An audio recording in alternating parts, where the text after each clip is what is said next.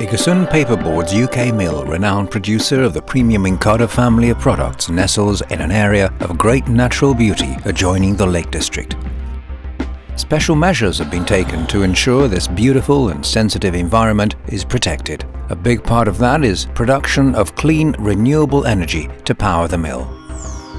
At the core of these measures is the mill's new biopower plant, which runs on virgin biomass from sustainable sources such as local forests, energy crops or sawmill waste. The biomass is cut, chipped and transported to the boiler. The boiler then heats up water, turning it to steam, which drives the turbine. The biopower plant produces both electricity and thermal energy to operate the mill, and excess electricity is sold to the national grid. What's all this energy needed for? Well, a fair share of it goes into producing Incada, a premium paperboard product globally recognized as a market leader. This is how it's manufactured. Trucks load logs of UK-grown spruce into a debarking drum where they're stripped of their bark. From there, they're fed into a chipper, the logs are cut into small chips which are then for quality reasons screened to remove unwanted sizes. The result is perfect wood chips, the best possible start for the pulp making process. The chips are refined into individual fibres, water is added, and after passing through a series of fibre screenings followed by bleaching, the mechanical pulp is ready for use. However, the process also requires chemical pulp, part of which is supplied by Iggesund, Sweden. The inner layers of mechanical pulp add strength and bulk, while dual outer layers of bleached chemical pulp give Incada its superb surface, printability and strength properties like bending stiffness. Many of Incada's superior properties are created at the first section, which starts shaping the pulp into board. The first layer is formed on a bottom wire and the water drains downwards.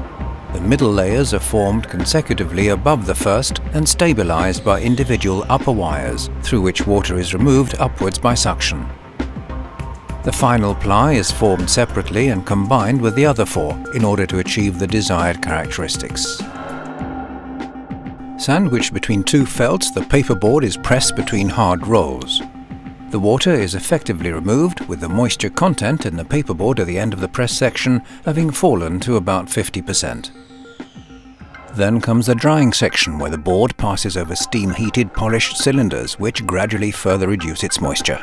Important strength properties are established here. The steam-heated machine glazing cylinder dries the web without any loss of thickness, ensuring excellent stiffness properties. This surface treatment is key for producing top-quality folding boxboard.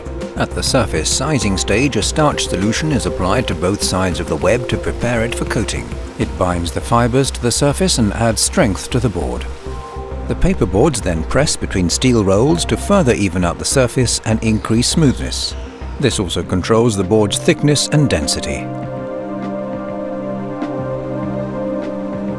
A white pigmented coating is applied and smoothed out over the surface. This can be done on one or both sides depending on the product.